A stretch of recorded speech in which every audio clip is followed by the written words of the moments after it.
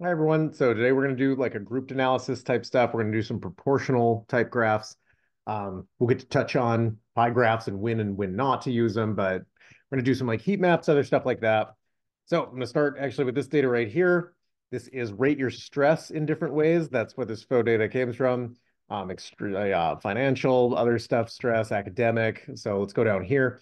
The way that I could count how many in this column, you know, how many people rated it two, for example, I could sort the column and manually count it. That's a little much. What you can do instead is say count if equals count if is a great Excel tool for saying, all right, if this two value right here is up in there somewhere, count those. How many are there? Bam. I'm going to end up, I have to transpose this data, which means like take it like this, but actually copy it value. So you leave the equation in there. So now I just got values. You can right click to transpose like that. Transpose just kind of shifts it X to Y. That's going to help us in Prism in a sec here. So next thing I did was I got the sum of each one and turned it. And so I got the sum of each thing, even though I know it's the same sum, it's 162 in each case. I like being thorough and said, how many ones out of that sum exist? What's the percent there? Got it. So I think I've shown you in a different video, uh, you can do something like that. Like conditional formatting is a very good way in Excel to make like a fun, like you can visualize it. That's not what we want to graph though. So let's go ahead and take these data to the next level. Let's go into here. I've got us in a grouped format for Excel. So last time, or sorry, for Prism, the last time we left this, we were doing just bar graphs. Let's take a look. Oh no, no, I can't seem to get rid of these little spaces. Sorry, we're going to brute force this out of the way right here. One, four, five, done. Hooray. All right. Next, I also would just rate the uh, level right here on the Likert scale, which is one out of five. There we go. All right. So if I wanted to, I could make five separate pie graphs for each of these, right? And each little slice. Um, so for sleepiness, I would be like, all right, so like 5% said sleep is, uh, they're not very sleepy. 22% said that they are, they're like a little bit, but not really, 3, 45 and then 5% of the class was like, I'm extremely sleepy all the time. Same thing, I could do one for transportation stress, academic stress, any of these like Likert scales. Now, what I'm about to show you is a stacked bar graph. It's a very clean way to do a lot of proportions at once. Let's take a look. There we go. Everything's out of 100. Since I've made everything out of a percent, I would probably just click this down, um, get us down to 100 right there.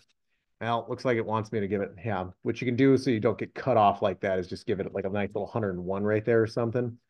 Um, dang it, I'm being perfectionist, but here we go. Come on, give me like 20% for that. Nice. All right. So now everything's also aligned nicely, as you can tell. So one, I could say, so most of these are rating stress. So I can say like stressor maybe. Um, let's take a look here. So remember a one and I'm going to say, I want to actually want to change all these data sets. Let's get the border a little sharper at one fourth like that. See how that's going to crisp things up. It's nice. Border colors stay black. We're all good. Um, I don't think symbols are going to add anything, are they? No, that's just like the raw amounts that you're stacking. Probably don't need to do that. Okay. So I'd say for colors, like remember one is like kind of nice in this case. Um, well, look, and you can do all kinds of fun stuff. Sorry, now I'm like messing around. Yeah, you can do like plots and stuff. Dang.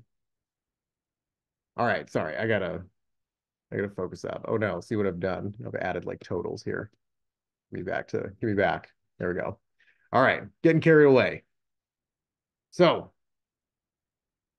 if a value of one is like the low stress, uh, you know, you could do something easy like green. Then the next one is like, eh, it's like not really a problem, like powder blue. All right, yellow, like things are kind of becoming a problem. Oh no, orange, like a little stressy, and then red getting angry. Yeah, kind of. I don't like how it looks actually. Yeah, but you guys are free to choose your own color. Um, I'm not the artist that we could be, but um, you know, this is always a good little Likert, like you know, happy, pretty happy, neutral to not as good. But these are great little graphs, and this shows to me now like a big good stack of everything. Um, I think there's good ways, like in the annotations, uh, you can probably do for each little set. Yeah, so if they fit inside, um, you can have the actual value in each one. Notice that if it's too small, though, the value will never fit in there. Um, you can do some formatting though and get that rolling if you wanted to. But as you can see, when it's a really small amount, it'll kind of cross over on itself. Um, but otherwise, yeah, it's a good little visual, super nice. If I was trying this in um, the proportion set, so parts of a whole, and this is going to be your typical pie graph in this case, we're probably going to see, so let's do academic stress. Um, and in this case, we're not actually going to see, we can only do one at a time too, if you notice that.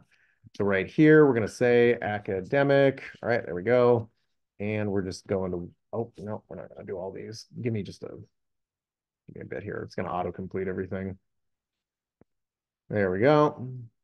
Think I stacked it right. Oh, no. Yeah, you got to, sorry, I got to invert it or uh, transpose this. There we go. Right click to paste transpose. Perfect. Now we can say, here's my academic stress and in percentages. Again, I can make the colors go here. Five's a lot. Um, I would say a good for this data set, something like pass versus fail, green versus red. Two colors is great. And people love and recognize pie graphs. It just gets a little, gets a little much after a while. Um, you can kind of things get a little little crazy. I don't know. See, things are going to get a little nasty here versus a proportional stack like this. It's going to look pretty good because you see all the data at once and it's still pretty like user friendly. Um, things like that. Let's actually get these all together up in here. Yeah, I want kind of want them just right up next to each other like that. Look at that. It's pretty good. Sweet. So as you can tell, um, nothing wrong with a pie graph. You could probably got two things going and you can make these super colorful. You can make pieces explode like here. Yeah, we can do all kinds of stuff. Look at that. I can make that piece like come out and explode like that. It's pretty fun. Um, they're never, they're not horrible. I shouldn't have been so harsh, but at the end of the day, it can get a little, get a little busy. Um, a fun way on Prism. I mean, well, it does have the stacks just for you like that. And uh, you can always do bubbles.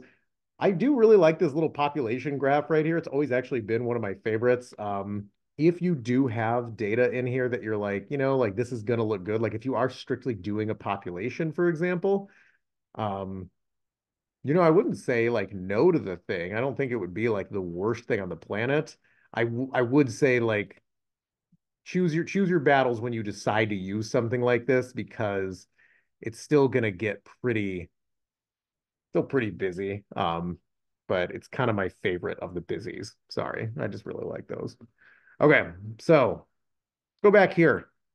Given that, I kind of want to jump into another, probably the best way, potentially, to show data like this. Now, the dimensions in this data show the amount based on size of each of each uh, factor in this case. I want to take that and I want to change that size factor into color the best way to do that is going to be a heat map in this case. And there's my favorite right there, Viridis color scale. See that? That nice like yellow, all that stuff. It's crazy. So most people, as you can tell right away from this thing, um, they're not super, or they are in this case, super not stressed because this A right here, you, on the on Prism, you got to change this back to the row title. Show row labels title and then show column labels title. Here, let's get that going. Oh goodness, that's the actual title give me the labels here. Sorry, you got to go here and instead of ABC, do column titles. There you go. There's our ratings, the one through fives. So as you can tell, most people in this case, since that's a high value, they don't really care about transportation stress. That's why that's higher.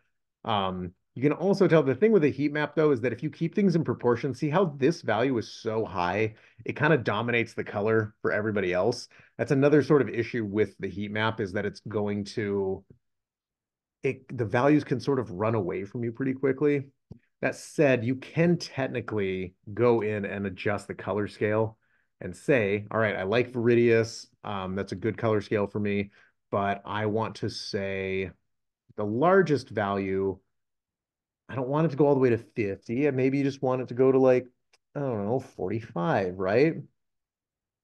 Those will start to go sort of white right here, or I can make them, I could say I'm going to make that black. That's outside the range. I don't know. It doesn't really add much, and it kind of like is a stinker when you take those out. So honestly, keeping things in line, it's not too bad. And this isn't this isn't horrible. Um, so not too bad. Plus, you got some fun little, you got some fun gradients you can run with. Infernus, magma, plasma. I always say these to my dogs whenever I'm whenever I'm doing these. Okay, that's a little much. Don't ever do that. Um, but if you want to make your own double gradient, for example, like I know that like a really fun one, like black can be in the middle. Um, this cool teal or teal right here versus um, like some yellow can be pretty neat sometimes. Like people like patterns like that sometimes. It's kind of neat. Um, here, what else? You can pair this with a purple, and that's really people like those a lot. Yeah. Sweet. Anyway, um, I don't need these actually. Or actually I do. I want that back because I would say like rating for Likert rating. Perfect. So what do we get done? Heat maps, um, proportions, things like that. Grouped is like it's the weird one because they're it, it can go all the way back to just straight up bar graphs, as you can tell right here. But grouped has some of the more like aesthetic cool stuff that we have. Um, a couple of you did little dot bar graphs on the on the assignment. That was pretty neat. Um, three way, we're not really there. And like I said, you know, nothing wrong with a good old bar graph like that. It's actually not not the worst thing on the planet. But if you can if you can work your way into some great stacks like that, I mean, it's a it's a cool little figure. So in that case, I'm gonna try and think. I don't know if I have. I'm trying to think if I want to experiment with anything else in this case.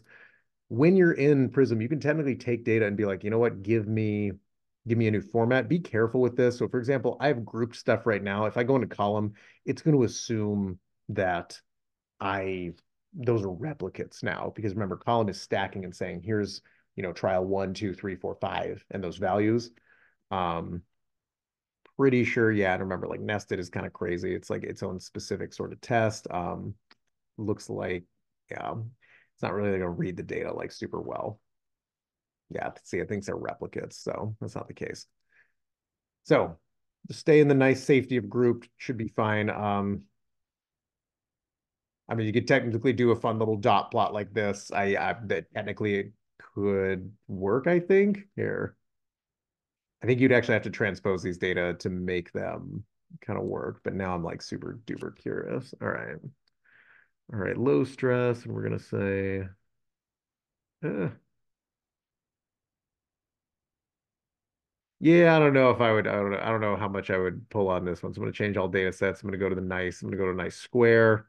Give it a little. Give them some little good little squares there, and then let's go to low stress. Yeah, we'll see how this looks. And that's the best part of Prism is like give it give it a few row, you know, few um few spins, and you can always sort of find like, eh, you know, I kind of like that aesthetic, things like this. What I'm making now actually probably would be best for anything across time is my is my guess in this case that would actually be something to to pursue so um based on the story you're trying to tell here you could actually i mean this this actually doesn't do a terrible job um showing like the percentages for each stressor amongst the population it's not horrible um so wouldn't be the worst thing on the planet but kind of depends like i said the story you want to tell Perfect. So, given all that, thank you again for watching. Hopefully, it was fun to learn a couple couple new things about um, Prism and grouped graphs and heat maps and all that good stuff.